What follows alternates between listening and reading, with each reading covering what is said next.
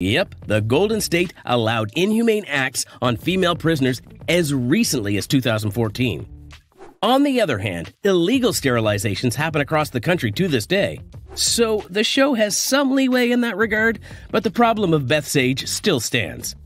How can she be 16 years old at the time of her legal sterilization? She was 38 when the series began, which means she was 16 in 1995, not the 1970s when the Indian Health Service forcefully sterilized indigenous women. In the 1990s, any abortion clinic in the world would have asked Beth permission before doing a life altering procedure like that. The only explanation that makes sense is that the clinic they went to was operating illegally. It wasn't following procedure, and it didn't care how many women it forcefully sterilized.